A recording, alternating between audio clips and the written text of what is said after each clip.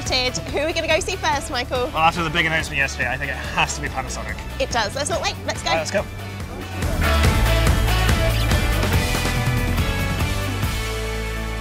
So after all of that excitement, uh, we're a little bit early. Um, and uh, the show doesn't actually open to um, anyone but uh, stand owners until 10. So yeah, we now have to go and join a queue for about 20 minutes.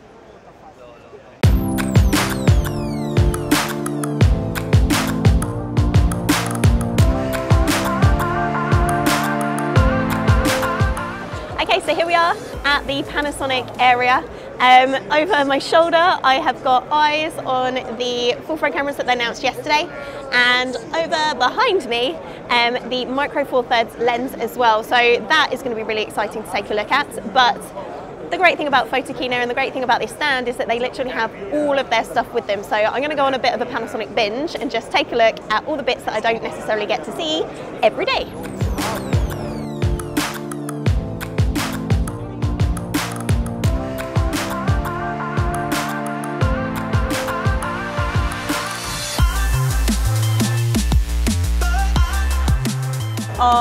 The new 35mm full frame cameras. Cool. This is the S1R on the right and the S1 on the left. The S1R is our 47 megapixel version and the 1 is a 24 megapixel. Nice. The 47 is really designed around the absolute high-end stills photographer who needs that megapixel count, commercial photographers, um, portrait photographers, studio work, that sort of thing. The 24 megapixel is designed much more around the working photographer, the sports photographer, wedding, but also videographers. Both of these are have the world's first 4K 50 and 60p Nice. in camera, and that's Yeah. uh, so 4K 60p. And then um, we also have the world's first dual IS on a, on a full frame camera. So that makes them really so usable. Yeah. They're going to be such usable cameras, and that's something that I just think is amazing. S1R, so this is the 47 megapixel version, and it's got on it the prototype lens for the 24-105. Um, lots might change about this yet. There's lots that's not finished. As There's always. lots that you're not that, that that's not that's not the final version and might tweak. Is that if you put your hand around there, you'll see that it's they've they've worked on this layout. So although it's obviously a bigger camera, It's still easily the- reachable. all the everything's under your thumb and mm. finger very very simply. And you can see Oh, that nice. that is SD and XQD. So we've got two different card formats there, and you've got the ability to use either. So the screen on the back is a tilting screen. So it comes up this way, in much the same way as we have with our um, with our current, and then it, it comes this Oh, way wicked. to do portrait. Nice. I like so, that. Yeah, yeah, and it stays all within the body of the of the camera, and I quite like that because it means that if not that you're ever going to be doing incredibly subtle work, but it means it's not it's protected. Yeah. And if you're doing portrait, you've got it straight away. So, weather sealed, um, and they announced, said yesterday that it was going to be really quite strongly sealed for really low temperatures. So, we're anticipating that it will be able to be used in really, really quite bad conditions. It's a working pro camera. First impressions are it is exciting. It feels nice, like I've already said. It's nice to hold. It's not as heavy as some of the newer cameras I've picked up already. Yeah. So, from my point of view, actually, it's quite workable, quite usable. Button layout nice, and I I love the LCD screen. I love the tilt screen.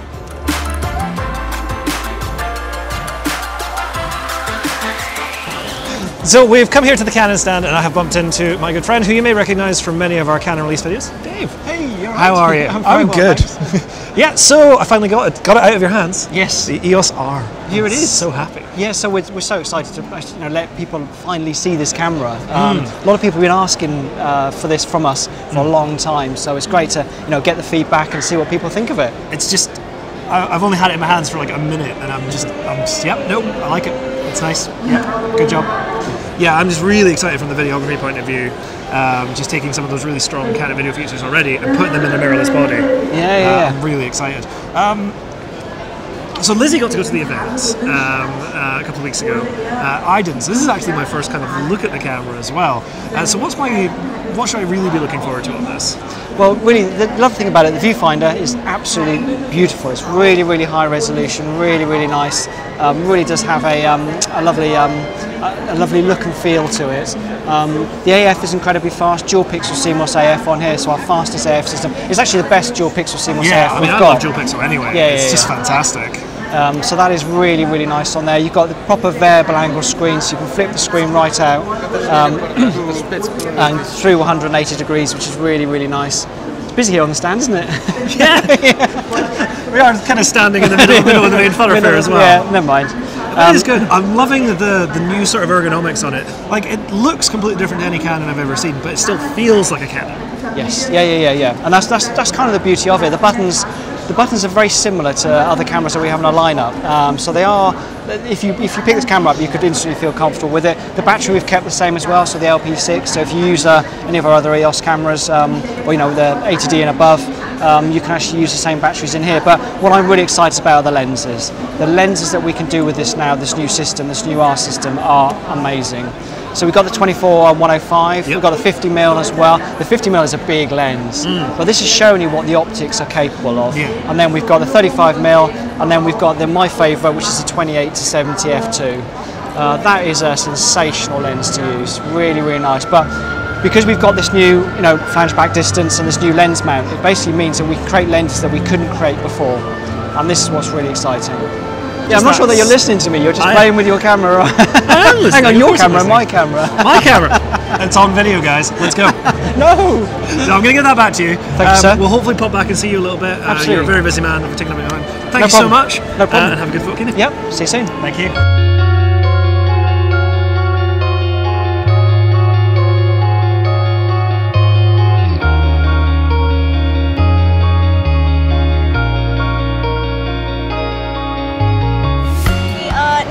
On the Sony stand and I have found James who hopefully is going to show us what was announced last week in the form of the 24mm lens. So this is the 24mm G Master. Um, it's got a lot of the, the usual attributes that you'd find on the G Master range. So we've got the manual control aperture ring Cool. with the click on and click off. So if you're shooting for video, you can turn that off and have a nice smooth movement on the aperture ring. Nice. Um, we've got our focus hold button, which is totally customizable for things like Eye AF. Really, really nice uh, to be able to put the Eye AF feature on there.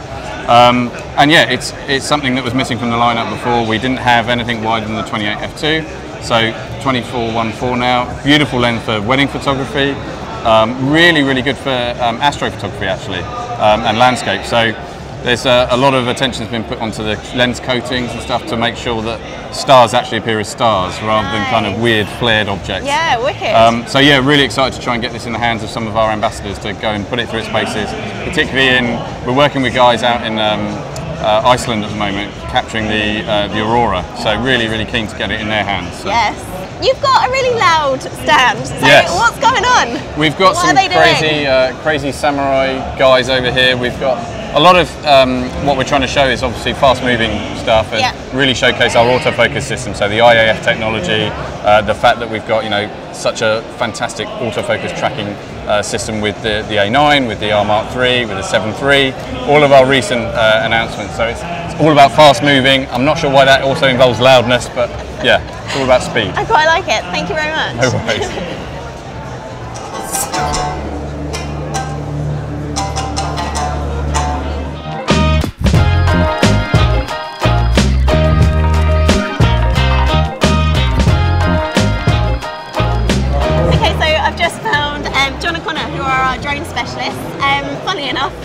by the drones, by DJI.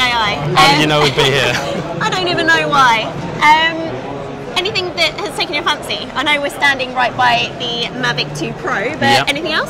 Well, the Mavic 2 Pro is fantastic. They've got it in a big cage here, so they're obviously flying it around, showing everyone. They've also got loads of other stuff here, so we can go and have a look if you like. Let's go. So we're here by the Ronin S stand. Um, it's a perfect gimbal for DSLRs, mirrorless cameras. It's weighted up to three and a half kilograms, so it's really going for the amateur to kind of a small pro studio kind of feel to it. Um, they've got a load on display today, so yeah, so we've, we've had a play with it before. Obviously, we've got our own, but um, it's good to speak to the guys from DJI and see what they have to say about it. Looks pretty nifty. It is pretty nifty. Over here we've got DJI's prosumer range, um, so including the Inspire 2, the Ronin 2, and all of their Force um, accessories that go along with it. Uh, really, really interesting stuff, allowing you to get really, really cool shots. The Force is what really took my fancy. It's uh, got three kilometers range, so you can control any of the Ronins, um, including the Ronin S and the Ronin 2, all from up to three kilometers away, which is fantastic. But here we've got the Inspire 2, along with the, uh, the X7 lens on, on the bottom and uh, really, really looking towards the prosumer side over on this side of the uh, display. So I'm here with my friend G. He works for DJI, um, and we're just going to have a quick look at the, some of the prosumer models that they have in today. So what's this, G? So that's the Force Pro. Um, for most gimbal, gimbals right now, um, they're delivered with a joystick. And the thing is, the joysticks are good, but not perfect for each situation. Okay. Um, and the thing is, what cameramen want is flexibility because you're not going to film a football match like you're filming uh, an action movie, like you're filming a fashion show. Um, so for each situation, we're trying to offer tools that offer you the maximum f- flexibility you need. I've noticed that across the DJI range, whatever, you're just trying to allow creativity for the. Exactly. We, we, we can't have like a T model, uh, one for everyone. It's like each situation has its own requirements. Brilliant. So here it's the Force Pro. Um, so it's just this box. What it does is it's going to mirror your uh, movements. So incredible. now it's put on a tripod, but you can put it pretty much wherever you want on a handlebar, um, here on a tripod, um, I don't know, on a helmet, for example. Really? And then it's going to completely mirror what you're doing. Can I have a go? Yeah, of course. So, what kind of range does this thing have? You get up to three kilometers range. Um, it's 1.5 in Europe because of signal limitation. Oh, yeah, because the frequencies. Okay, Exactly. that's brilliant. And does that work for all the Ronins? It works with Ronin 2, Ronin S, and uh, Inspire 2. Inspire 2 as well. Yeah, so for the camera. So the cool thing is that one cameraman can use the same device and have the same feel across ground and uh, air solutions. aerial That's incredible. solutions. It's incredible. Oh, that's fantastic, G.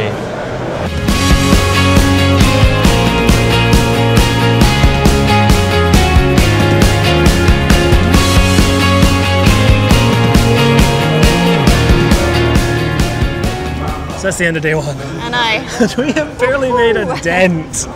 Ah, what was your favourite thing today? Um, I'm gonna have to say that actually getting to touch and feel the Panasonic S1R. That for me, highlight of the day. I know it was first thing this morning, but highlight. No, I loved it. Um, really looking forward to seeing that uh, that 10 to 25 mm lens, f1.7 through that wide range. It's just going to be fantastic.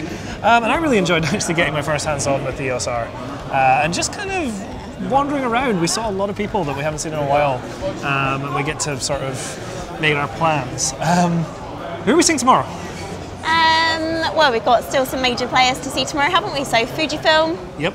uh, Nikon as well. Oh, I know yeah. we had a sneak peek earlier, but Yeah. can't wait. oh, to, some, something something about robot cameras.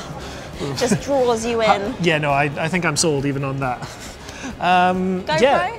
GoPro, yeah, definitely looking forward to getting Hero my first hands on with, the, with that Hero 7s. Uh, it's going to be great. Um, yeah, and probably a, a whole bunch of other people. um, so, I hope you've enjoyed this video, and uh, if you have, uh, give us a like and comment below what your favourite part uh, of what we've done on day one is, and anything you're looking forward to. And uh, we shall see you tomorrow. Right, uh, dinner, I think.